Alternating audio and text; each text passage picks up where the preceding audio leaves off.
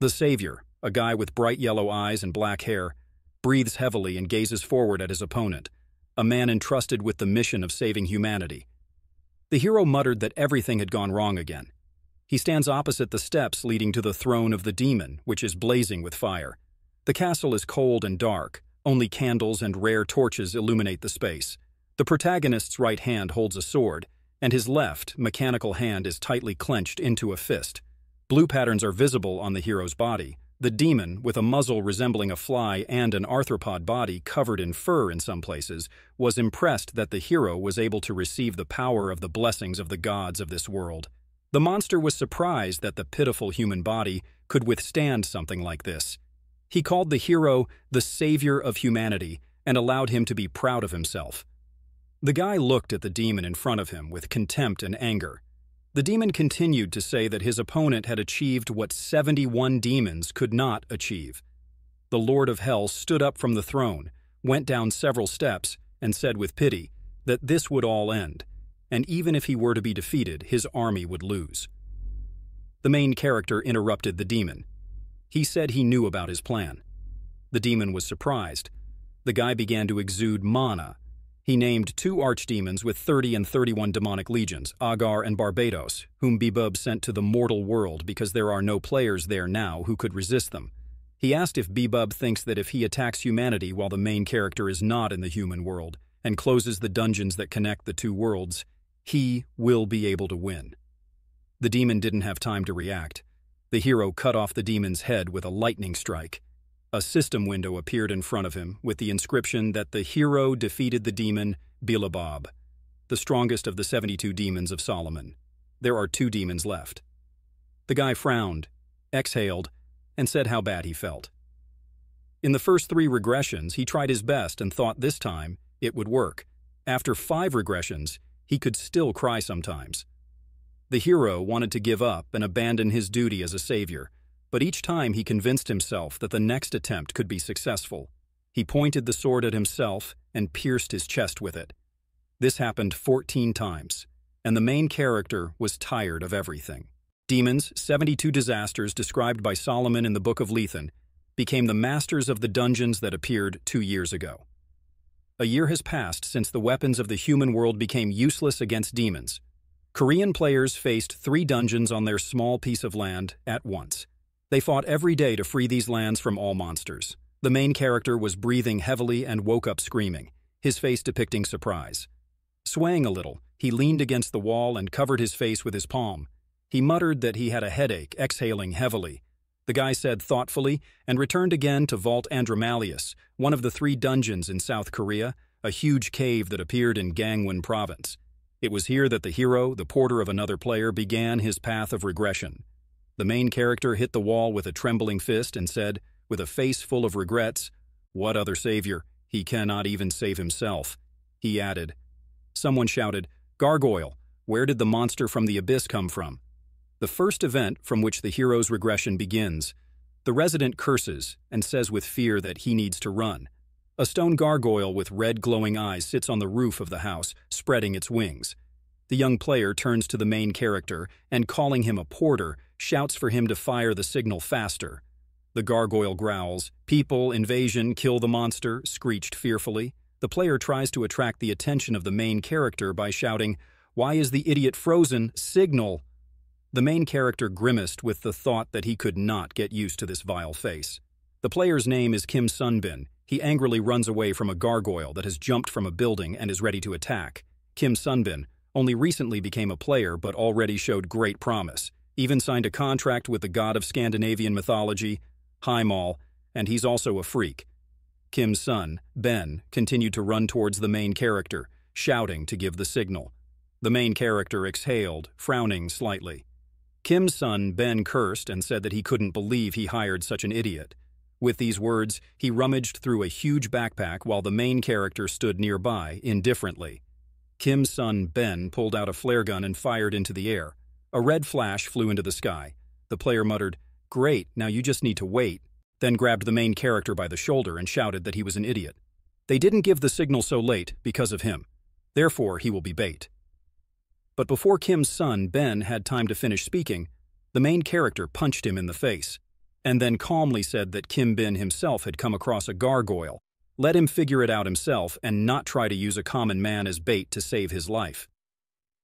Kim Sun-den shook a little after the blow and muttered that the hero was a useless idiot. Meanwhile, the main character was thinking that he had already died because of him, but still wasted time, and was bait for the gargoyle, black horn with gold trim, Gjallarhorn, a divine item belonging to Heimdall. The constellation of this idiot, which will definitely come in handy in the war with legions of demons in the future. Kim Sunbin's eye and cheek were swollen after being hit.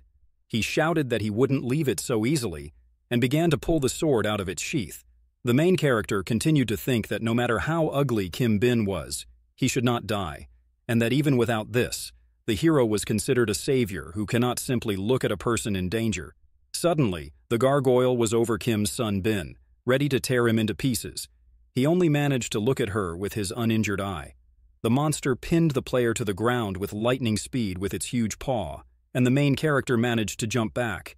He looked at the guard gargoyle with determination and extended his hand to the rebounding sword. The gargoyle growled, The man is alive. Kill. The main character grabbed the sword and said, Then you need to quickly destroy the monster before anyone comes to the help signal. If they notice the porter killing a gargoyle, then he will receive attention that he does not need, muttered the main character, exhaling heavily while the monster roared loudly. To defeat the gargoyle, given its huge three-meter body, he will have to strike at a specific point. Therefore, experienced players do not like to hunt her alone. The hero thought. But the monster interrupted the hero's flow of thoughts with shouts of, Die, intruder! The monster swung and hit the place where the hero was standing, but he managed to jump away. On the other hand, it can be killed at a weak point, even without being a player, the hero thought with determination. He climbed onto the gargoyle by the paw of which she hit the ground, jumping deathly. He found himself above the monster, a small hole just a centimeter right on the neck. The hero saw this small hole not protected by the monster's armor. Here, he thought, and threw the sword straight into this hole. The hero landed behind the monster until cracks appeared from the place where the sword landed along the gargoyle's body. Man, the gargoyle said, syllable by syllable. She tried to pronounce intruder, but broke into hundreds of stones. A system window again appeared in front of the player stating that he had defeated the gargoyle without a contract with the constellation. The main character coughed, covering his face with his palm, with the thought that he was returning to the past when he died. The new system window stated that the constellation had shown interest in the player's exceptional achievement, a man who is obliged to save humanity from the invasion of hellish creatures. But he, the main character, is tired of this terrible mission. The system's new notice states that 38 constellations are offering contracts. Surprised, the hero said that most players received up to three requests, and even he had received up to 20 in past regressions. Afterwards, he noticed that this was a good start. The hero thought that if the regressions were repeated until he achieved success, it would be nice to get some rest. The system produced a list of constellations that sent requests to create a contract. Master of the Argonauts, Josi and Swordmasters, Guardian of the Pantheon, Great Sage, and many other constellation names appeared before the hero in a golden glow. The hero decided that the 15th regression would be whatever he wants, and from today, the Savior is retiring. The hero noticed, with curiosity, one of the windows of the system. Black Lord of Muspelheim, a huge flaming demon in stone armor, with a sharp horn in the middle of his forehead, the leader of the giants with whom Ragnarok began in Scandinavian mythology, and the main cause of the destruction of the world. The main character said that he had already received contracts from god-level constellations, but he did not think that a being comparable to the creator god would appear. The guy looked at the system window in amazement. Afterwards, he sighed with inspiration and said that in this regression he was still resting. As soon as he reached for the Yes button on the system window with an offer to accept a contract from the Black Constellation, the new system window said that the hero had signed a contract with the Black Constellation. The right to resume system operation due to an unexpected error has been obtained. Loading. The main character was surprised and thought out loud with a slight smile that it seems the contracts will not be limited to one constellation. The system displayed a message that the recovery was complete the contractor receives a new right, thanks to the multiple contract effect. The hero can choose one of the following options. First, Lord Musim, second, Godslayer, third, the end of the world. The hero made his choice, and the system window showed that the Lord of Muspelheim had been received. Streams of light and mana swirled around the young man. New system window, name, Lee Young Hack, constellation, black, characteristics, strength, E-, agility E-, endurance F, mana F, multiple contract abilities, Lord of Muspelheim, Multiple contract grants the ability to make contracts with multiple constellations but only use the power of one at a time. Lord Muspelheim, Lord of the Kingdom of Fire on the southern edge of the world, allows you to control fire. Layhak muttered that he didn't expect anything else from such. Two characteristics rose to E. Usually, this takes a whole month. Muttering, the hero picked up the gargoyle fragment. Layhak used the power of fire, and the fragment immediately melted. With genuine surprise, he said that with such mana, one could burn a gargoyle. Someone shouted loudly that they heard the source of the sounds and ordered them to hurry up. The signal was sent a long time ago, but there is hope that the players are still alive. The hero had a thought. They came running. How would I... Before Layhawk had time to finish his thought, a girl player in medium armor with a sword and short red hair was approaching worriedly. I want to make sure the players are okay. The knight next to her stared at the body of the gargoyle in bewilderment. He said that they must be in the great depth of the dungeon. The girl asked if the gargoyle was dead. Lay Hawk, sitting on his knees, pressing his palms to his ears, screamed convulsively.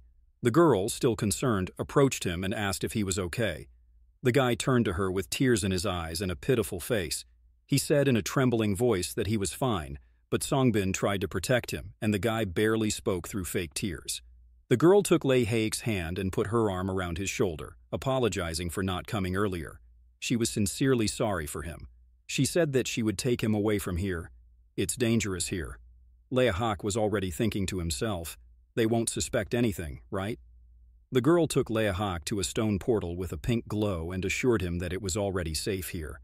The heroes thanked her, worried that he had caused her so much trouble. The girl good-naturedly told him not to worry about it, and said that after investigating such oddities of the dungeon, she would still have to return to the association, and that her job was to protect people from monsters. With that, she placed her left hand on her chest and looked at Lei Hayak with a radiant smile. As she took a step through the pink portal, she asked him to be careful on the way home. Afterwards, the swordswoman disappeared into the portal. Layhawk thought out loud that this was his first time seeing her, but she looked like a good person. If everyone were like this, the end of the world could be avoided. The guy started to leave but turned around when the girl screamed. She called out to him and ran up, handing him a black business card with a white phoenix and the inscription Li Jing. Lei Hawk thanked her. He thought, Li Jun from the Phoenix Guild? Then, she will die soon. An image of Lei Yun in flames appeared in his memories. She was covered in blood, her face was frozen in fear, and the sword fell from her hand. The cause will be guild incidents caused by one item. Layhawk muttered thoughtfully that it seemed that this object was somehow connected with CER. Maybe we should try to save her since this coincided. The guy, scratching the back of his head, came out of the portal area, fenced with a fence with barbed wire. Layhawk rides a bus through the city and thinks out loud what to do next. He wanted to take a break from regression, but he couldn't just give it all up. In one of the lives, through three dungeons remained open for quite a long time, and after six months, a fourth appeared right in the heart of Seoul. It was a huge rift at the intersection of Highway Cemetery Gijon. Monsters immediately crawled out of it. How else would they kill people? The cause of the disaster was the vile players who postponed the raid on the dungeon, all because of profit. Layhawk exhaled lazily and muttered, He'll have to clear the dungeon in time to delay the end of the world as long as possible. It's not like relaxing if he has to do something like this, but there's no one else and he got an idea as soon as he looked at the business card given to him by Li Jun. In the fantasy, Li Younghak was Li Jia Young's trainer, sending her into battle like Pikachu. He joyfully exclaimed that he would make her his student. The guy took her number from her business card and sent several messages. Hello, this is the porter you saved. The moment was not right then, but I must say that I felt something strange in the dungeon. I think you should know about this. When leaving the bus, Lei Hawk said indifferently that she was already a player anyway. The guy got off at the stop next to the International Players Association and said thoughtfully, The teacher cannot remain a simple porter. Le Hawk entered the association building and heard someone's surprised voice. How many recruiters had gathered? According to rumors, newcomers usually attract the attention of a maximum of three guilds. A bunch of journalists and reporters, camera flashes everywhere. Who will they evaluate, both Comet and Phoenix? The leaders came in person. A dark-haired man in a white suit with a black shirt sat with his arms crossed over his chest, waiting. Next to them sat his agent, wearing dark glasses. Is this Kang Man-sik, even guild leader Hung came? The voice ordered someone to stand behind him. Next, attention was paid to a serious young man in round glasses with short red hair and a classic suit. This is the vice head of the Phoenix Guild, Kim Young-sik. Have these important people really come here and are waiting for the players to be evaluated? Meanwhile, Lei Hawk went to the front desk and said that he would like to take an assessment. The girl behind the counter kindly asked him to write his name. The paparazzi continued their cheers. Incredibly, a newcomer with a divine constellation has appeared, Hort Lehak said with a little curiosity. How noisy is his assessment today or what? Becoming a player is quite simple. You need to request a rating from the association and show your strength by defeating the dungeon monster. That's all. Sometimes people who have signed a contract with a strong constellation attract a bunch of recruiters with their assessment. Li Yang Hak entered the players' waiting room where some were sleeping, some were praying, and some were trembling with fear. The sleeping player was awakened by the appearance of Lei Hayak, who sat down not far from him. Studying the reason for today's turmoil, is this guy who made a contract with the creator god, sun god Ra, wiping the saliva from his cheek? He asked Li Hake if he had dozed off. This blond guy with golden eyes is called Ao Yun, who has the constellation of the sun god Ra, Someone called him by name, so he responded and asked about the reason for his concern. A tall guy with red hair, green eyes, and a beard introduced himself as Kim Young-sik, vice president of the Phoenix Guild, Suzaku Constellation, legendary level. The guy with glasses interrupted Kim Young-sik, saying that normally recruits are not allowed into the waiting room, but he might be given special permission. The recruiter immediately shut him up and turned her attention back to Ku Yun. He asked Su whether he had entered into a contract with the sun god Ra and expressed the desire to invite the guy to the guild. So Hu, a little worried and surprised, asked how he knew about this, but there was no answer. Leek continued to remember. It all started when Kim Young-sik took Ko Yunu in. The recruiter put his arm around the blond guy's shoulder and led him away. Lei Hawk continued to think that a terrible incident would happen because of their immense greed. He muttered that it was in this incident that his student died, and resolutely added that this time, everything would change. An association official handed Lei Haku a player's brochure and politely chirped, Congratulations on passing the test, and notified him that registration was complete. The guy noticed to himself that it was difficult to pretend that he was weak. A little surprised, he began to look at the piece of paper. Lei Hug asked if there was a new player brochure. Let's see. Phoenix Guild is recruiting newcomers. Lei Yun, will be the curator. The hero noticed that Lei Yun was ideal for this role and then began to study the conditions for submitting an application. They sound like this. Players who are not members of a guild but have registered must meet the following requirements. The player must have a contract with a constellation of legendary level or above, a contract with fire-related abilities, level E- or above, all characteristics.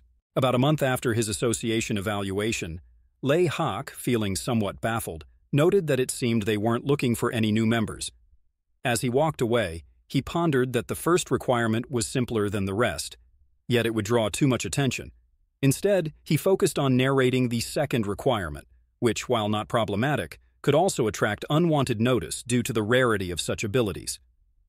Lei then found himself before the massive entrance to the Andromalius Labyrinth, Deciding to concentrate on the third requirement, he stepped through the portal with a confident grin. The next opportunity to register was in four days, a timeline nearly impossible for most. Inside the labyrinth, Lei touched a wall, casting a spell that illuminated the area with a glow of red mana and light, forming pentagrams under his palm. With a beaming smile, he declared, Not for me. The wall vanished immediately, revealing a horde of goblins ready to attack. The system updated his location to a secret area in the Andromalius labyrinth, specifically, a goblin settlement. Lei tackled them bare-handed, using only his spells. After a day of constant combat, the system updated his status. His stamina and mana had both increased to E. An orange magic stone, along with a green one, fell into his bag, which already contained many similar stones. Only one for six monsters? Lei grumbled, disappointed by the low drop rate. He decided it was time to leave, having spent a full day there. As he left, turning from the charred remains of the monsters, Lei headed home, exhausted. He voiced his concern about possibly overexerting himself post-regression, noticing his muscles felt tighter. Mid-sentence, he caught June's gaze. Both were slightly startled by the unexpected encounter. When June began to call him by name, Lei quickly dismissed her confusion, insisting she had mistaken him for someone else and hurried away. She wanted to stop him, reaching out her hand and calling for him to wait, but he had already vanished around the corner of the building. The vice president called out to the girl by name, urging her to hold on and shouting the main character's name in pursuit. However, Kim Young-si intervened, questioning her actions. He reminded her of his position as her boss and instructed her not to forget it. Jun humbly apologized for her eagerness. Meanwhile, Lei Hak leapt back into the portal. As soon as he crossed the threshold, he bent over, hands on knees, trying to catch his breath. The realization of his fatigue hit him, and he pondered whether this regression could truly be considered a rest. A few days later, June stood before the audience seeking permission to demonstrate.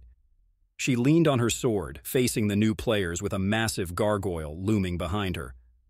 This is the Phoenix Guild's rookie training program, Jun announced, continuing with the instructions to launch the simulator and activate the monster. A newcomer gasped, Is this thing going to move? Jun turned just as the gargoyle raised its paw, poised to strike. The crowd tried to alert her, but the new recruits watched the ensuing battle, awestruck. Among the newcomers, Lei Hak assessed June's combat skills and was impressed by her prowess, even better than he had anticipated. Meanwhile, June skillfully deflected the gargoyle's attack, poised for a counterstrike.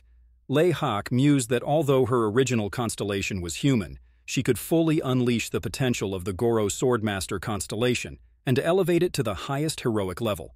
In a swift motion, Jun found herself above the gargoyle, her sword swinging down to sever its head. Her body was enveloped in mana, her focus and determination palpable. Phoenix Guild's Group 3 Supervisor, Li Jun, Constellation Chakjun Kayang, at a heroic level. A short while later, Li Haun stood pensively, arms crossed over her chest. Despite much thought, she still found it odied that Lei Hak was merely a simple porter. How was a player who registered just four days ago able to raise his stats to level E-? Jun held the test list for new players in her hands. There were three names in the characteristics table, Li Jianggu, Li Young Hak, and Kim Min. She peered thoughtfully at the stats of the second player listed. A recent conversation with Li Hak surfaced in her memories. He had said that he went goblin hunting because he owed rent. I lured them in one by one. I learned this while I was a porter, he had explained. The girl decided that this could still be explained, but she remembered the situation when she met him on the street. Then she was sure it was definitely young Hack and decided to look around the corner of the building. She was very surprised to see traces of burned monsters there. Continuing her thoughts, the girl suggested that maybe he had an innate talent. During another training session, Lei Hak stood at the stand for the training battle, and Jia Yun was at the control panel for tuning the monster. She asked the guy which monster he wanted to choose. Young Hak immediately replied that he would like to choose three goblins. The girl grinned in confusion and asked again, Three, not thirty? Young Hak responded with a question, Thirty goblins? Is this a joke? The girl got a little nervous, felt guilty, and apologized, saying that she would do everything now. Three goblins appeared at the stand and attacked the young man. One grabbed his leg, he repelled another with his sword, and the third was ready to attack. Lei Hak quietly gave in. June exhaled in disappointment and thought that she had expected something in vain. As it was getting dark, Jia Yun praised all the players and released them from training, while she continued to hone her lunges. The main character was surprised that she was still training. Apparently, she became a curator for a reason. However, it is frustrating. Lei Hyak looked at the girl with misunderstanding and regret. If she uses power like that, God. Her leg twisted, the girl fell, turning over herself and screaming in pain. Inwardly, Lei Hawk wondered if June was okay. The guy, slightly irritated by the incorrectness of her movements, cried out that he should do it wrong. Jun looked at him indignantly and asked what he said. Lei Hawk fell silent, starting to get a little nervous and looked away. He then told the girl a little hesitantly that she needed to concentrate a little more on her back and not on her legs. Jan listened to him angrily, yet with curiosity. The guy continued, explaining that her steps were too wide and that half a step would suffice. Annoyed, John retorted, Who do you think you are to give advice? She continued, accusing him of speaking as if he had already become a ranker, despite his inability to even kill three goblins. She shouted these last words after him, just as Yong Hak was already sprinting away from the training field, shouting back that he had something to do and it was time for him to leave. Furiously, John yelled after him, asking where he was running off to. Later in the evening, sitting in her room, John grumbled irritably, It's easier said than done. He's just a newbie. Her words echoed in her head. Half a step was enough, and she needed to pay more attention to her back. Jun reasoned that it couldn't get any worse if she tried. Suddenly, a system window appeared in front of the girl. It read as follows Devastating move, 4 out of 7. A method of moving with legs aimed at disrupting enemy formations and quickly eliminating enemies. There is a rumor that at the peak of this power, you can cut off the of any opponent in seven steps. You have mastered the four steps. Resolutely, the girl went to the park and began training. She tried to perfect these seven steps. A new system window appeared in front of her, which read, Understanding of the destructive step has been improved. June has mastered the five steps. The curator was surprised that the newcomer's advice worked, but she did not understand how. She looked in bewilderment at her hands holding the sword, standing in the middle of a dark park, illuminated only by the dim light of lanterns. Unbeknownst to herself, she muttered the name Lee Yong Hak. A silent question was reflected on her face. Is he like that too? Meanwhile, Layhack and the bear realized that he had not gone somewhere for a long time. He noticed that it was possible to get something there that would be useful to Lejun. The system window notified him that he had entered the secret zone of the Endus Labyrinth, a goblin settlement. The goblins looked at the guy from behind trees, hills, broken branches, and bushes with genuine surprise. There were countless of them. Layhack, noticing this a bit lazily, remarked with irritation that he couldn't believe everything had to be cleaned up again. He looked at the goblins with contempt, tongues of flame flashed in his bright red palm, and everything around was instantly filled with fire. There was no one in front of the hero, but he sensed a presence. Layhawk muttered that he hadn't seen Tong Wang in a long time. The system window notified him that the constellation Fisher of Time had detected something unusual. The constellation of Fish of Time turned their attention to the player, and the test began. The guy created a fishing rod with a spell and smiled broadly. The system elaborated on the essence of the test to prove that the player was worthy of the attention of this constellation. Lehak, with a smile, watched the angry goblins rushing towards him and enthusiastically agreed to the system's task. In front of him, a golden bridge stretched out, leading to a huge wooden gate at its end. Hawk shouted at the goblins to chase him, calling them bait. He ran as fast as he could across the bridge, with the goblins in hot pursuit. The hero cast a fire spell, and all the goblins running across the bridge were immediately turned into charred meat. Hawk's face expressed genuine enthusiastic interest. He decided that this should be enough and, throwing a fishing rod shrouded in mana into the abyss, at the bottom of which flowed a stormy river, he playfully called someone out. A new system window stated that the tyrant of the lake had awakened from a long sleep. A huge, golden fish with glowing eyes was hooked. The water surged over the abyss. Satisfied with the catch, the hero took the fishing rod in his left hand and, with his right, began to create a fire spell. He exclaimed, Now, it will be fried fish. The huge fish was engulfed in flames. A system window appeared, indicating that the player had successfully captured the tyrant of the lake. The sea creature splashed back into the water with a crash. A column of water doused him. New system windows stated that his characteristics had increased significantly. The player's strength had increased to level E, and his agility had been elevated to level E as well. A charred fish lay at the bottom of the abyss, its head and most of its body protruding from the water. Another system window appeared stating that skillful use of magic had increased the player's characteristics. The player's mana had increased to level E. Lei Hayak was happily surprised. He exclaimed with enthusiasm that the characteristics were growing faster than he expected, and that this test was still just as difficult. The wooden gate swung open, and a sign hovered in the air in front of the guy. He entered into a contract with the constellation Fisher of Time. The player received a new contract right, and he could only choose one option. The first, unification of the world. The second, tongfish hook three feet from the water. The third, spilled water, will not return to the vessel. Smiling, the guy said this was what he needed. He received a tonfish hook 3 FT from the water. Toon was fishing, but his hook didn't even touch the water. If the results are known in advance, all that remains is to wait. It will be easier for the player to improve any martial art depending on the level of understanding. As the rays of the setting sun illuminated him, he looked around and decided he needed to go back. A duel began at the Hunters Association between the leaders of the second and third groups. The curator of the second group is a blond guy in armor. People from the crowd are mostly betting on his victory. They say he will soon become a ranker. Onlookers feel sorry for the curator of the third group. Jun went on the offensive with lightning speed. The enemy could not track her movement. It seemed to him that she had disappeared. The girl lunged, and the curator of the second group fell on his back. She herself was surprised that she succeeded. Cheers could be heard from the crowd, astonished that she had defeated the leader of the second group. Muttering to herself in surprise, Jun questioned, Was it really true? The crowd did not subside. Everyone was wondering how she did it. She ended up next to the enemy in an instant. A system window appeared in front of Jun, stating that the player's destructive step had reached the perfect level, a method of moving with legs aimed at disrupting enemy formations and quickly eliminating enemies.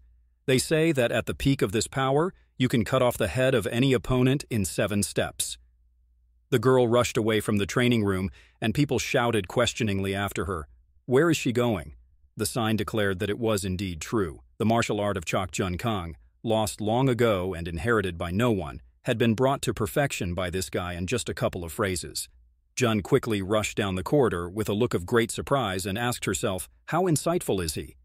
Jun texted Yang Hak, asking if there was time to see each other. At the same time, she thought that she had not advanced in the development of the skill for two months, and that missing this person could leave her stuck for years. The Liun constellation swordmaster Goryeo's characteristics were Strength, C, Agility C+, Endurance C+, and Monode. His abilities included One an Army Swordmaster Sword Skill Goryeo, Destructive Step, One Step, One Kill, 0 out of 5, Death Attack, not studied, and War God Spirit, not studied. The girl thought that in order to master all her abilities, she needed a mentor. She was determined and unshakable. A notification came to her phone. Jia-Yun immediately picked it up and read the message. Yonghak answered no when asked if there was time to see each other. Meanwhile, Lei Hak realized that his interlocutor was ready to explode after reading his message. He looked at the phone with a slightly guilty look. New notifications arrived on the device, but the heroes got distracted. The employee at the Magic Stone Exchange Place placed several stacks of bills in front of Lei Hak. A bald man in dark glasses clarified that it amounted to $33,270,000 and also noted that the hero knew how to impress, as a client, of course, judging by the size of the stones they had obtained from goblins who had emptied all their reserves. The employee asked Lei Hak, who responded indifferently, Something like that. The employee immediately brushed it off and reassured the hero with the words, I'm not trying to find out where you got so many items. I was just wondering if you decided to cash out so abruptly because of the auction. Interested, Lei Hak replied that it was indeed because of the auction, but questioned why the employee needed to know about it. The man in dark glasses hesitated as he rubbed his hands together. That's what I thought, he said. Nothing serious. I just wanted to warn you. They say that, to participate in the auction, the player must have a representative. He handed the guy a business card which read, Shin Minsu, auction consultant, and listed the postal number and address below. The exchanger employee inquired whether the player had an acquaintance who could serve as his representative. Lahak, looking at the business card in surprise, thought that he was unaware of this requirement as he had never participated in an auction without an invitation before. I can probably come in, but to purchase you need to meet certain conditions, he remarked, placing the business card into his pants pocket. I'm not looking for anything specific, but I wanted to check something, so I'll give it a try after some time. Lahak, stirring her coffee, watched intently at the source of the sounds of intense training. He considered that she seemed to be following him.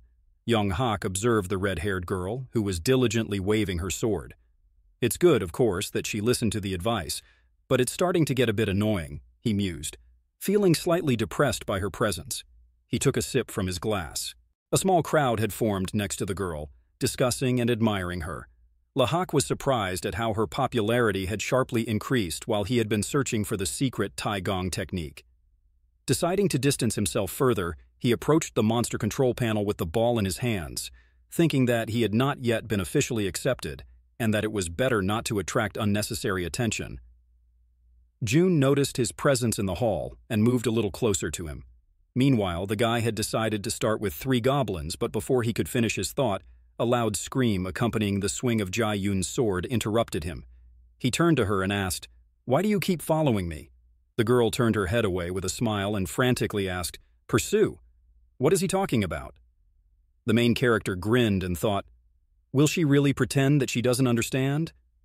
He resolutely stated that starting tomorrow, he would stop coming here. The girl was taken aback and looked at him with pleading ease, loudly asking, What? Why? She pointed out that he was doing so well and tried to convince him to stay. However, he interrupted Jun by expressing that he felt uncomfortable and didn't want anything to interfere with his concentration.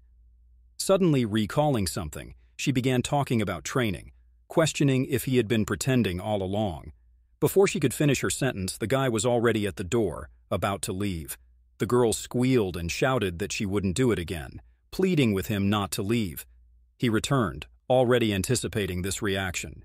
Jun sank silently, just looking at him. As evening fell, the training room was nearly empty. Jun leaned on her sword, sighing heavily from the pain in her hand. She wondered whether it was the wrong moment to take a step, or if her step was once again too wide. She thought about the fact that she had the great man constellation and needed to become stronger quickly. Meanwhile, Hak had already gotten dressed and packed his bag to leave, but he turned his attention back to the girl. He asked her if she was crying. Jun raised her hands to her face, hiding her tears, and stuttered in response. Who said I was crying? Her hand holding the sword was shaking, and she looked very tired. Hak noticed that she had not eaten since morning and had just been swinging the sword mindlessly. This will only make things worse, he remarked, pointing out that this was not what fencing was supposed to be like. Looking at her decisively, he took the bag from his shoulder.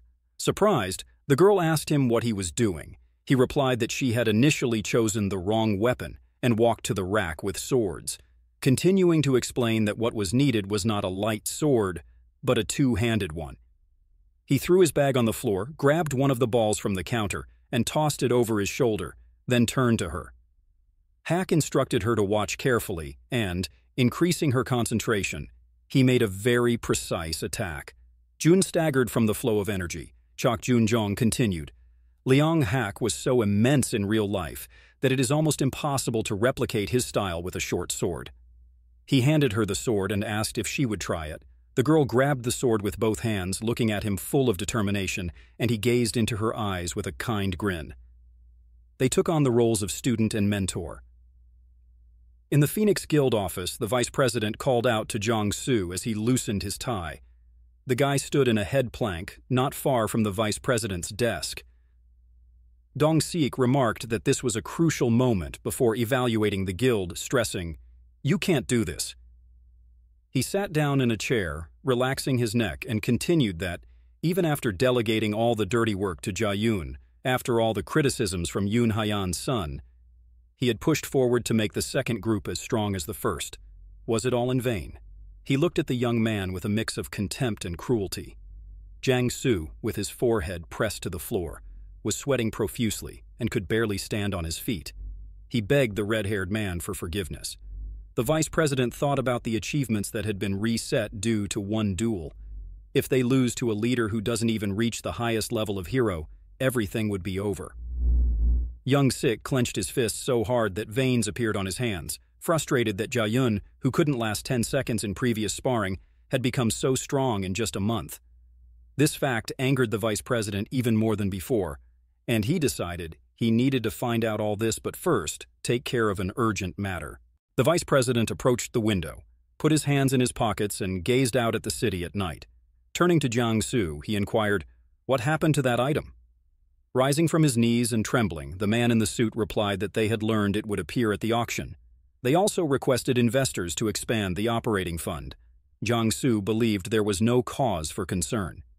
Yang Gong-sik, showing approval, pressed her fingers against the glass.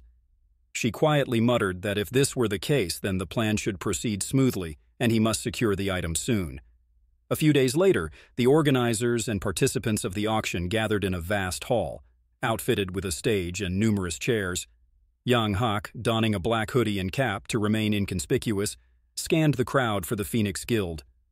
Identifying the vice president, he decided that his primary goal was to ensure that Kimmy Seek would win the auction though he contemplated acquiring something for himself. Hawk opened the auction item list and began to study it intently. Spotting an underground route, he thought it might be a good investment. The auction began with the host warmly welcoming the esteemed guests and expressing gratitude for their patience. The next item, the host announced, is a bow made from twisted orc tendons, Class A, with a starting bid of $48 million. The bow eventually sold for 78 million. The auction featured a variety of items, including battle armor, swords, helmets, a kama, and an underground route. The presenter then introduced the last item, retrieved from a Swedish dungeon. The nightmare of Scandinavian mythology, the sword of the giant CT who turned the world into ashes. Displayed in a glass showcase on a pedestal was an object resembling the rosaf of a young tree. Latine, the presenter shouted loudly as three huge screens at the back of the stage projected an image of the object. The auction participants whispered among themselves, puzzled about why this item was deemed valuable, given its fragile appearance. Someone in the crowd mentioned that the association had tested the items, which implied that this sword must indeed be of high quality. The host shouted that the starting bid for the ball was 1 billion. Suddenly, a bid of 50 billion was made. The auction participants were very surprised and looked around in an attempt to find out who had made this bid. Was it the Phoenix Guild? They wondered. The vice president and his assistant, Jiang Su, stood in a separate room designated for VIP auction participants. Young Sik thought the cursed sword, which burns everything to the ground, was a worthy weapon for him as the owner of a legendary level constellation contract. Meanwhile, the presenter asked if there was a higher bid, and, after a general silence, announced that the sword was sold at the highest bid in the history of the auction. Lee Young Hayak chuckled quietly and muttered, It seems like they really wanted him to spend 50 billion at once. Such a pity that they threw a huge amount down the drain. He looked back with a smile at the VIP chamber where the vice president was meeting with the Phoenix Guild. Young Sik, furious, shouted to the guild president, What is he talking about? The vice president slammed his fist on the table and continued, When we found out that the sword would be sold at auction, we agreed that I would get the weapon myself, and now the president says that it will be given to Ko Yunu. The president demanded to speak directly. He asked, Who should receive the sword that Y Seek bought for 50 billion? The man in glasses tapped the table with his finger reproachfully.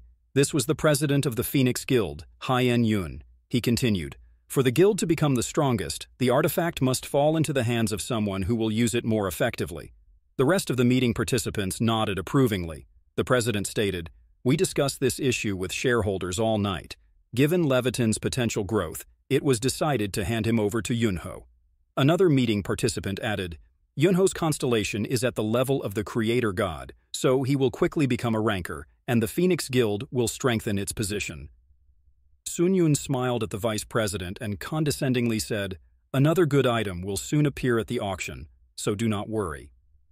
Young Sik, gritting his teeth, agreed with the president. He looked at him with cruel rage after the meeting. He returned to his office and, out of anger, began to destroy everything. He threw pots of plants from the cabinets, scattered papers, and knocked over furniture. Then, he tiredly sat down in his chair, leaned his elbows on his knees, and covered his face with his palms. He thought, no, it's not over yet. At what point did everything go wrong? His face contorted with anger. He declared that he could not give in so easily. Ko Yun, who has potential for growth, would benefit the guild. So Yan Sik was hanging around with him. They understand this and have probably come up with something else. The man grabbed his phone and got up from his chair. He went to the window and dialed someone's number. A voice came from the phone. Yes, Vice President? The man called Young Soo asked him to investigate Ko Yun, Hu, and his entourage. He wanted to know something about his goals. In the office of the president of the Phoenix Guild, Zhaon asked the president with genuine surprise, Does he really want her to be in charge of So Yun Ho? The vice president is in charge of this. The girl was clearly nervous, and the president, turning a little in his chair, replied that the very idea of a newbie being taught by a high-level ranker from the very beginning was absurd. The president hoped that Jia Yun could help the promising newcomer, which is what he told her. She submissively lowered her gaze but frowned in annoyance. She understood that this issue was very important to the vice president, and it was obvious to whom he would direct his anger. The president informed her that they would transfer the third group to another program, and she could begin a new task. Jun asked to be given one day to talk to the team before leaving. The president accepted her request. The girl, leaving the office, thought that this was not an order but more like a threat. Now, she would not be able to study with YHAC. Scoundrels, she thought. She asked so desperately, she even trampled on her pride. She wondered how much harm there would be if she taught herself. The girl walked down the corridor, upset. Several of her charges met her there, and one of the newcomers saw her and asked, What did the president say? Exhaling heavily, Jia Yun said that now their group would be divided between two others, and she would take on another task starting tomorrow. She hoped that the guys would cope with everything, but the president had entrusted her with another matter. Some were excited, others were thoughtful. Young Hack did not interrupt the training when she appeared but froze when he heard her words. The students happily speculated that the curator had been given an assignment by the president himself. Was this really a long-awaited promotion? Jun walked away from the guys to Yang Hak, calling out to him. Joining her hands in front of her, she said that today was her last day. The guy wiped the sweat from his face with a t-shirt and asked what she was talking about. The girl drooped and remained silent. Turning around, she began to go home. Ihak looked after her in confusion. They say that when a person stops doing what he has always done, it means it's time to die, the girl said at last. Di Young Hak, at first, didn't understand what she was talking about, but then the realization came to him. She was talking about the vice president. He realized that problems would soon begin in a couple of days at most, and he needed to look for the nearest hotel. In the office of the vice president, Yang Sik asked, what did you say? Jiang Su reiterated that Seo Yunho was assigned to Jun's custody. The vice president lashed out at President Haiyan Yun. He rudely ordered the assistant to get lost, and he obeyed. Yongsik summed up the results. First, the artifact was taken away. Now, it's Seo Yunho. The man tensely pulled the phone out of his pocket and, dialing someone's number, brought it to his ear. He asked his interlocutor if his offer was still valid. Yong Sik explained that the situation was getting worse and asked for a favor. He needed to pick up one thing. It flashed through his thoughts that he should take what was his before leaving. Leviton had belonged to him from the very beginning. The vice president answered his interlocutor's next question in the negative, but the fun is about to begin. The next day, in the corridor of the Phoenix Guild building, Seo Yun Ho approached Jae Yun and greeted him kindly, saying that they had not seen each other for a long time. He continued enthusiastically, expressing how impressed he was by her duel, and added that learning from her was a great honor. The girl, showing slight hostility, dismissed him, urging him not to exaggerate. She mentioned that they would leave after she reported to the president and asked him to be prepared. She then inquired if he had the artifact. The blond guy exclaimed that he would now retrieve the artifact. Jun smiled at his positive attitude and wondered if he knew where the warehouse was located. Humming a tune to himself, Yun, who approached the warehouse, puzzled why the door was open. He entered, closing the door behind him, and loudly asked if anyone was there. Finding the emptiness strange, he turned on the light and was shocked to find the vice president, who had stolen the artifact. Recognizing it was El Yong Sik, Yun who, with a trembling voice, began to ask what the man was doing there. But before he could finish, the vice president cut him off, stating that he had seen everything. Engulfed in flames, Yong Sik prepared to strike. Approaching Yun Hu, he grabbed him by the throat, lifting him into the air. Fear and determination appeared in Yun Hu's eyes. Distorted with rage, the vice president exclaimed that it would have been better if he had never invited Yun Hu to the guild. Yun, who began to lose consciousness, he could not breathe, and his body was enveloped in flames, his clothes slowly burning. Suddenly, Jun burst into the warehouse, attacking the vice president. She shouted his name, aiming to sever the hand that held Yun Hu, but the man dodged. Yun Hu fell, still alive.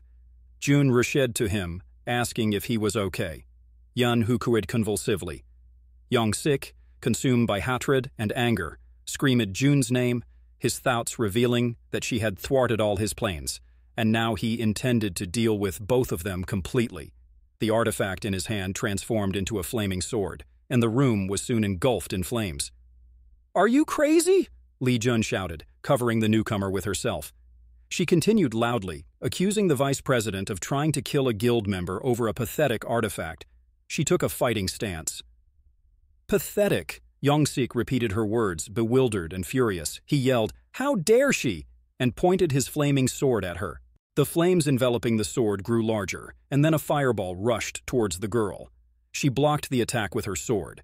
Yanggong Sik was surprised that his power, enhanced by the sword, was broken by such a pathetic weapon. Shouting, he asked her how she was able to stop the blow. His attacks were repeated, but the girl deftly repelled them. She decided that she needed to hold out until help arrived. Stepping two, three steps forward, and breaking the last stance right in front of Yang Sik, she attacked him. He parried the blow with a huge sword. The girl jumped back. How stupid, said the man. He continued to say that Jai Yun could throw and kick, but she would still remain mediocre. If she wanted to try to stop him, she must put her life on the line. He shouted, How dare she block his path with such pitiful determination? Isik began to emit even more flames. Jun was frightened to realize that she had lost from the very beginning. The difference between a ranker and a B rank was too big, but she had nowhere to run. Looking decisively at her opponent, her sword was melted in some places, and she herself looked shabby. Yet she firmly decided that she had to hold out, even if she got fried here. The vice president, blinded by rage, wished her death and created a fire spell with his free hand. The girl repelled it and rushed into battle, Yunho's strength was leaving him. He was groaning heartrendingly from pain and carbon monoxide in his lungs. Jun noticed this and rushed towards him, protecting him from the flames, but she herself was hit. She let go of the sword, and the weapon flew to the floor. She swore. Yongsiek told her that it was over and prepared to deal the final blow. The girl tried to cover her body with her hands and wondered if she had made a mistake. She reproached herself for not sending the guild members away, but letting the newcomer go alone. She closed her eyes, ready to accept death, but nothing happened. The girl opened one eye. Leihak came to the rescue, getting between the girl and her opponent, saying that this was not how the battle should look. Jun, shocked by his appearance, stared at the guy. Yong Hak gently patted her on the head, saying that she had done well and did a good job. Yang Gong Sik shouted in confusion, what happened to his flame? Why is this newbie here? The guy resolutely replied that he had come to pick up Li Jun and squeezed the enemy's flame into a fist. Sometime later, in the hospital department, Ko Yun, who was in his room, the blond guy woke up on his bed and screamed. The Phoenix Guild president, who had paused from reading a book, notified Yun that he had woken up. The guy was surprised to see the president present in the chamber and immediately tried to get up. The president ordered him not to tense up and to stay in bed. He explained that help had arrived to find him lying unconscious in the warehouse. The president continued, saying that Yoon and Jae Yoon had inhaled toxic smoke and that the consequences could have been much worse if help had arrived any later. He then bowed his head and apologized to the young man for what had happened. Yoon, very surprised and unsure how to react in such a situation, listened intently. The president admitted that his inexperience in running the guild almost caused significant problems for both the guy and Jae Yun. Yun frantically denied it, insisting that it wasn't the president's fault. Remembering June, the young man asked how the curator was doing. The president reassured him that the girl had woken up the previous night and was discharged from the hospital with burns to her respiratory tract, but she would recover. The guy breathed a sea of relief. The president thoughtfully raised his palm to his face and mentioned that no one had expected her to cope with Kim I-sik, and that she needed to apply for a reassessment of her characteristics in the association. Yun, very surprised, clarified, Does the president really want to say that Jun defeated Kim I-sik? The president replied that traces of a blade and torn clothing were the only things found in the warehouse. It can't be, said Yun, trying to recall what he saw as the curator defended him. Walking straight through the flames, a man appeared who gathered the fire around him into a fist, but Yun had only seen his back.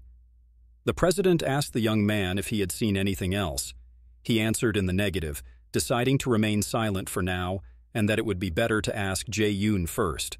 In Lee Jun's room, the girl, all bandaged, lay on the bed and dreamily recalled the words of her savior that he had come to pick her up. She muttered that sometimes she wanted to give up, but opportunities come to the brave. These difficulties were not in vain, she thought, yet she did not understand how he knew where they were. Grabbing her phone, the girl sent a message with this question to Leek. He replied that he was keeping an eye on her, had noticed her walking past, and then, while chilling in the corridor, saw a fire break out at the other end. Jun didn't understand why he immediately burst in there. She didn't understand why Lei Hawk was concealing his abilities. It was risky, and he could have been discovered. When she asked if he considered her his student, his response was brief. Uh-huh, dungeon cave. Lei Hawk exhaled, noting that it was a close call. He almost lost his reputation as a mentor. He had observed how Wyseek had staged this incident unnoticed. The guy stood atop a huge pile of dead monsters. Lei Hawk acknowledged that he had known in advance that the situation would create problems, but it was better if no one else knew about it. The guy was holding Levatian, the Sword of Sea, in his hands. In the hands of its true owner, it reveals its true form. When Yang Sik wielded the sword, it was enormous, and its structure resembled more of a chain. In Lei Hake's hands, it transformed into a beautiful bright orange sword with a white hilt. Lei Hake admired the weapon with a smile. The system window notified the player that constantly hunting monsters increases his characteristics. His stamina had been raised to level E. Lei Hawk reasoned that this should suffice. He noticed that hunting goblins took a whole day, but with orcs, half a day was enough. Bags and sacks filled with crystals and magic stones were slung on his back as he dragged them toward the cave's exit. He estimated that all the ore should be worth about 30 million won. Now that he had found a student, Lei Hawk reasoned it was time to prepare a training area. It was unlikely that anyone was selling a training ground for players, but he had an ideal option in mind. He smiled conspiratorially, hoping no one would come to this place. A few days later, huge fireballs struck the goblins one by one, consuming them in flames. John and Yun, who were standing on the dungeon cliff, watched. The guy, gaining experience, exhaled, wiping sweat from his face, and turned to the girl with a wide smile, asking how she would rate his performance. She stood, arms crossed over her chest, and after a moment's thought, gave her assessment. She noted that the guy had excessive mana consumption, a long delay between casting the spell and the attack, causing three monsters to flee. Hun, who drooped, apologized for this.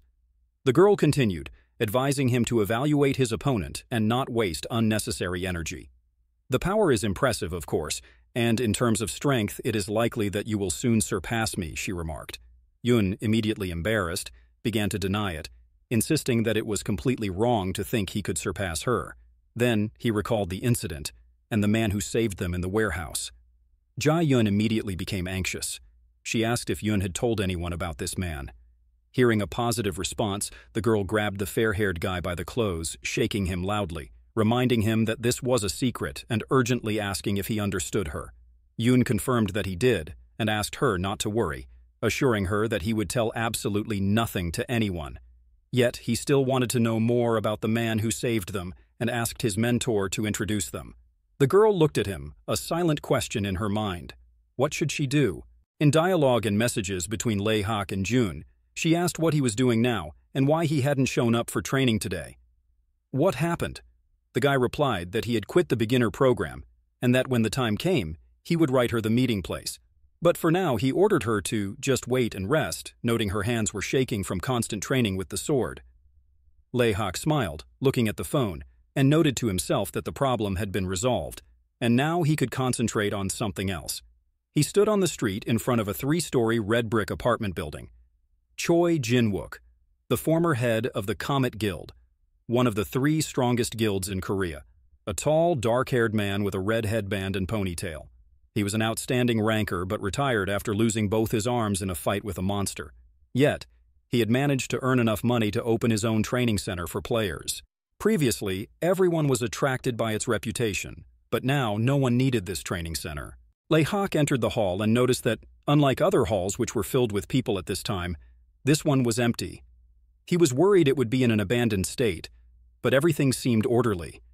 It appeared the owner still hadn't been able to let go of everything. Layhawk shouted loudly, If anyone is here! A fat man with slicked back hair, wearing a t-shirt and jeans, peeked out from behind a door and asked, Who's there? The newcomer smiled and replied that he had come to look at the training center. The man looked at him with distrust and apologized, saying he was not entertaining guests. He suggested that if the visitor was new and wanted to join the guild, he should go elsewhere. Undeterred, the visitor continued to look around the room, asking the owner to show him the top floor. The man was very surprised and angrily replied that guests were not allowed on the upper floors, ordering the visitor to stop loitering. Layhawk interrupted him, expressing a desire to look around and decide whether he would buy this building including the equipment if possible. The man grew very angry and stamped his foot, causing cracks to appear across the floor. He growled angrily at the visitor to stop joking and get lost. Lei Hawk replied firmly, This is not a joke, and suggested that they discuss and talk about Kang Mansik.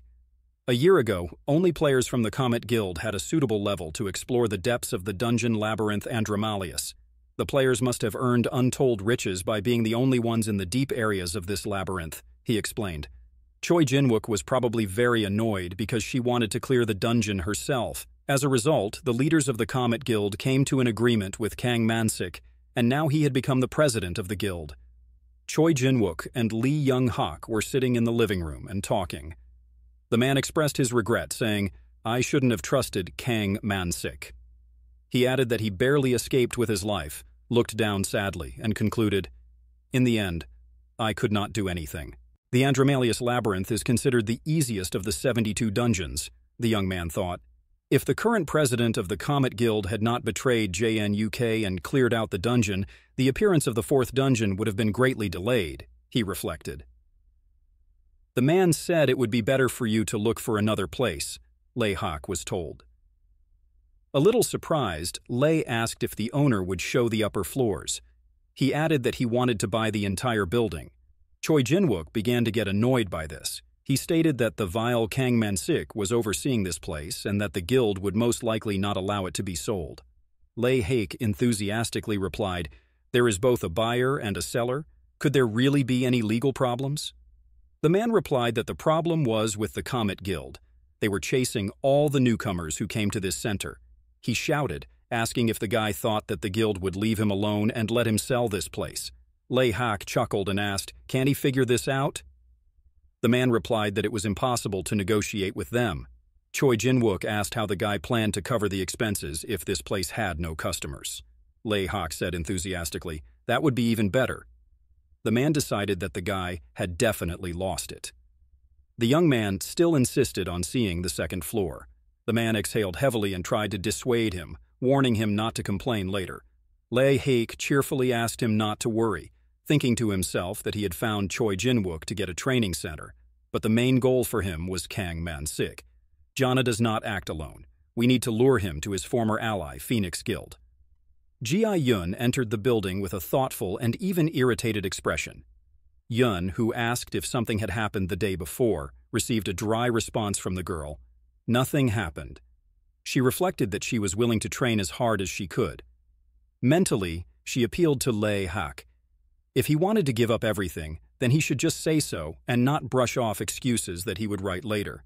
She whispered, It's so difficult with him, constant chaotic actions. Yunho, startled by the girl's voice, asked who she was talking about. Is it really about that person? She panicked and quickly made the excuse that she was just muttering to herself. The guy looked downtrodden. and she thought that she should be more careful. She didn't know why Yun, who was looking for him, but she had to take into account that young Haig was hiding his powers. Yun asked the girl why they had come to the association and what had happened.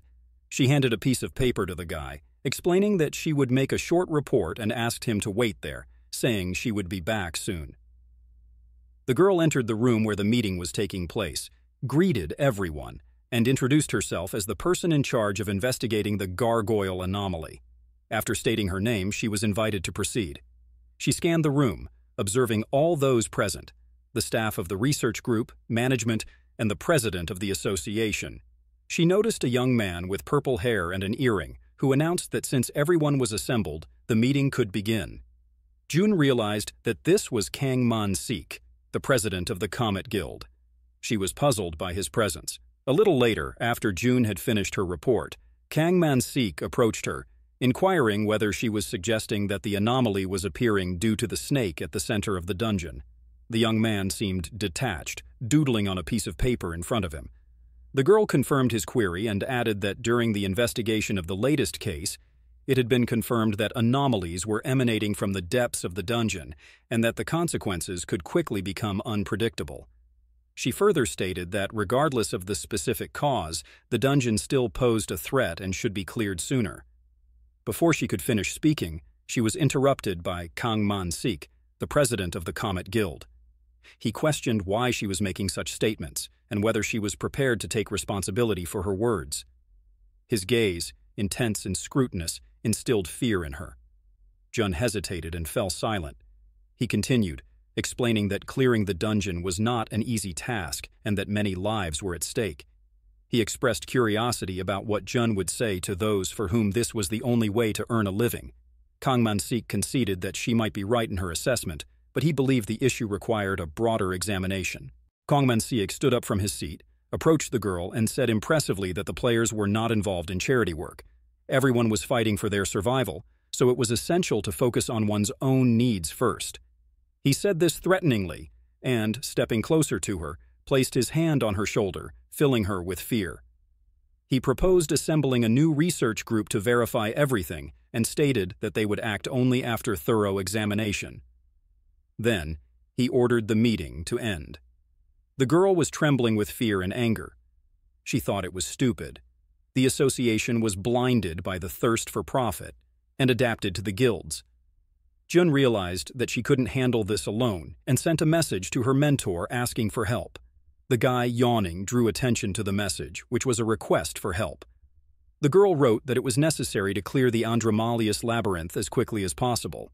Kang Man-sik had attended the association meeting that day. Lei Hawk, peering at the text of the message in surprise, hadn't expected the president of the Comet Guild to make the first move. Was it really all about saving June?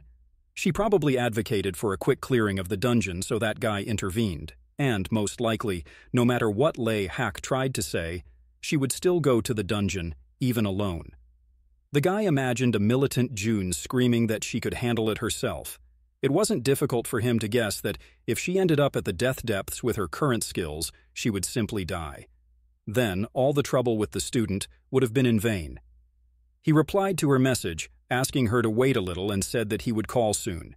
He reasoned that it was still early, but there was no choice, and he supplemented his message with the words that he would teach her another special technique. Guild Comet is a high-rise building with a helipad on the roof. The girl was very surprised when she heard the news that someone had come to Choi Jin-wook's training center. Her name is Hanu Yan. She is the leader of the first group of the Comet Guild. The girl immediately brushed off her interlocutor, saying it was just some passerby who had dropped in by chance. She asked her interlocutor to deal with it like last time and said that she could handle it herself. The guy with blue hair, wearing black clothes, who was talking to her, replied that it seemed to him that this guy should not be left without attention. He hangs out there for half a day and does it regularly. The girl imperiously ordered to proceed as usual and find out what Choi Jin-wook had told the training center. Lee Young-hak sits in a chair drinking iced coffee. He is pleased that there is not a soul around. The owner of the center approached him and asked if he was bored, noting that he had been coming here for several days in a row and just sitting. The man without arms repeated once again that he was not going to sell the building. The guy just laughed, remembering the proverb that a tree will not fall with one blow. The man answered, What kind of trees? There's only one stump left. There is nothing to cut down. The guy threw away the coffee cup, stood up, stretched, and said with a smile that he had a good rest, but it was time for him to go.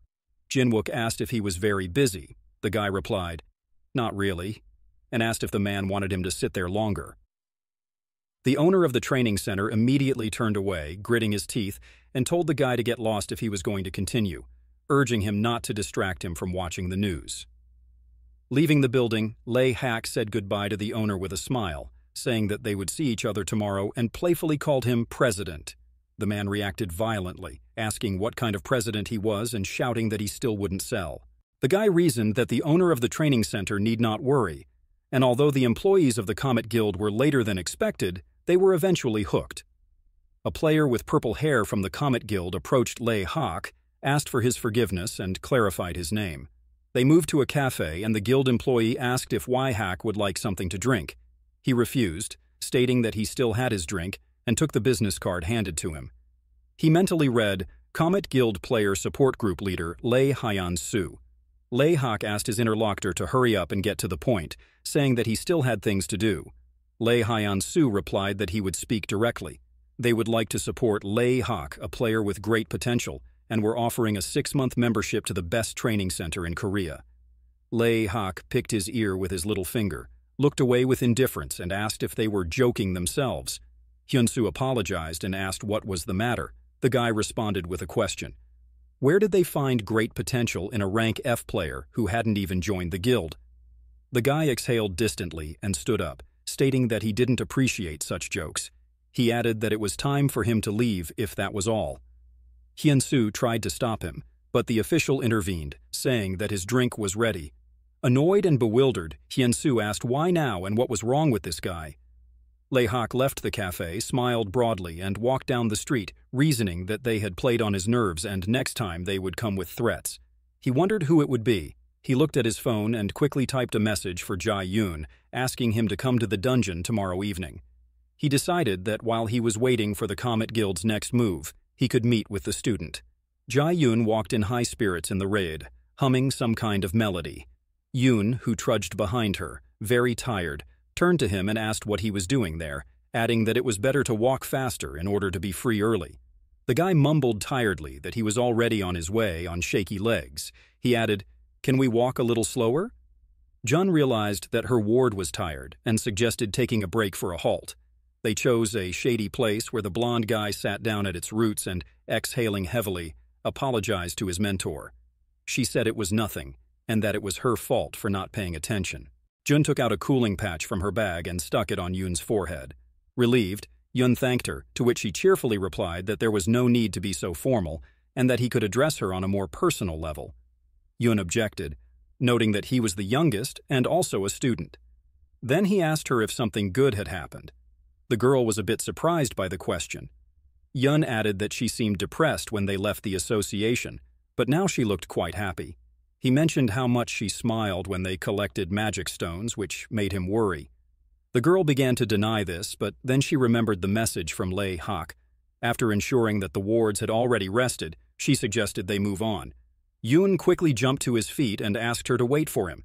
Meanwhile, Lei Hawk was on the bus again. It was already dark outside.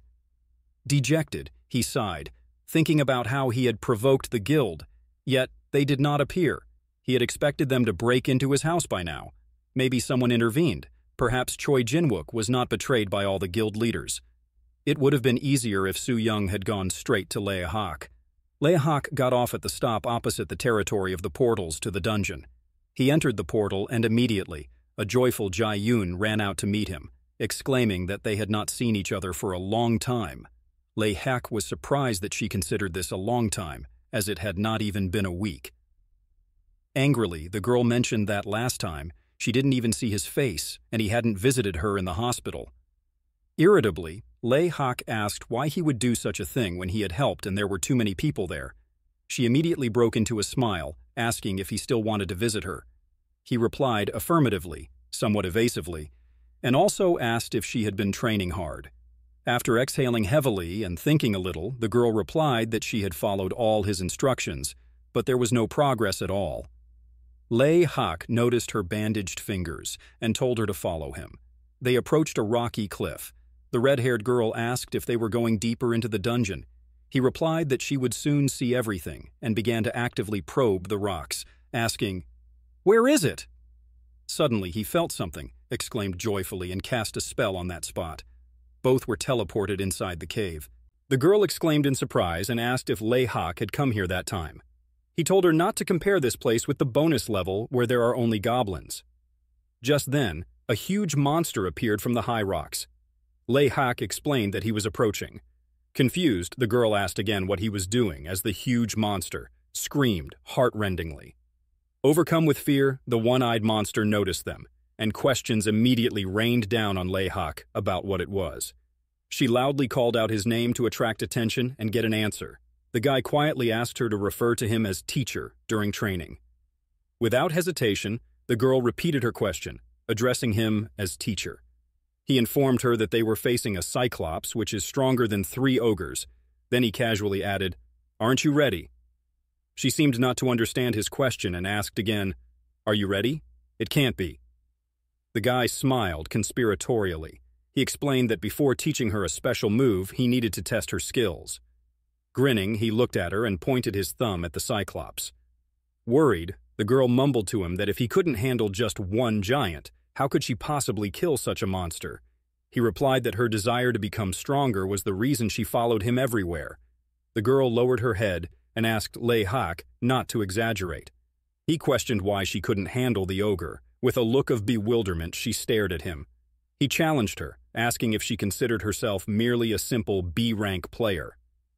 His confident gaze, decisive and encouraging, told her not to give up until she had tried.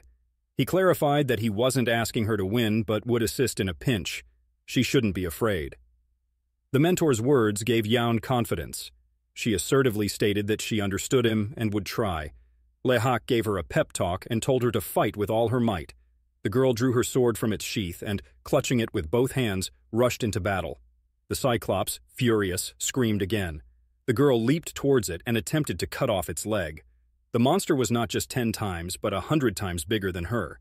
Yao noticed something happening to the sword at the moment of the attack and glanced at it.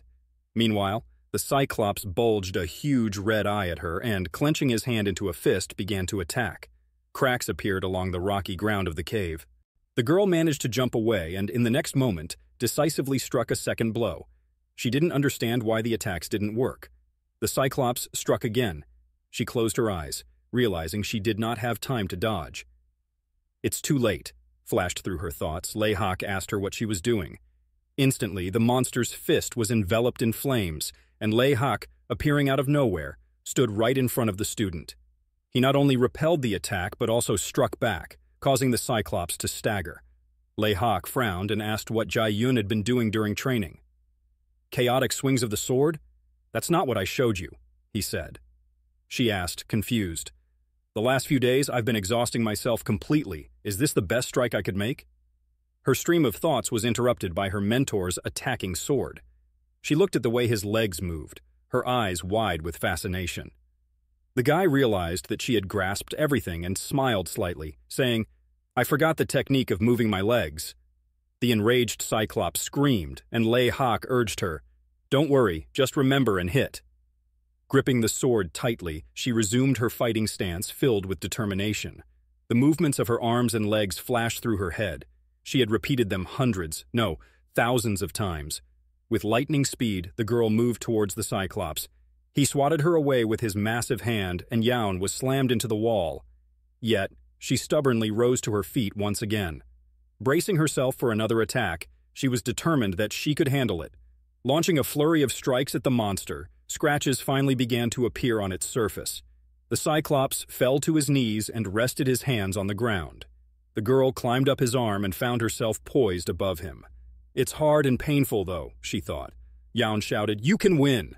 With that, she severed the monster's head, and it fell dead before her. Breathing heavily, she stood over it. Lehak observed her, thinking how unusual she had seemed from the start. But her talent exceeded all expectations. Maybe this time they can... he mused, fascinated by her determination and inner strength. Suddenly, he stopped short, remembering his original goals. Shaking his head negatively, he told himself, this time, it was just a break. A system window appeared in front of Hyun, announcing, The player has accomplished the impossible and defeated an opponent who was much stronger. This success impressed even Constellation players. Jaun's mana increased to D level, her strength to C level, and her agility to B- minus level. The player has awakened the technique, one step, one kill. Mastery of this technique, 4 out of 5.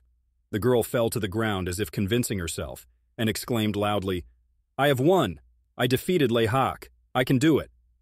He praised her with a smile on his face and reminded her, Don't forget, during training, I should be called teacher. Laughing through tears, she accepted his remark, calling him teacher.